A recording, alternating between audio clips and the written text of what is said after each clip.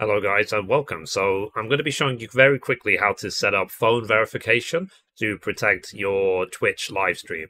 So in the Twitch dashboard, uh, the create dashboard, you go down to here where it says settings, you expand it if you have to, click on moderation and there's a new setting that's been added here. So the email verification has been there, I believe, for a while, but now they've added phone verification. So what you can control here is basically where it says all chatters must have a verified phone number. So you can enable that on and off, and you can add an exemption for moderators, VIPs, or subscribers if you wish. By default, it's moderators only.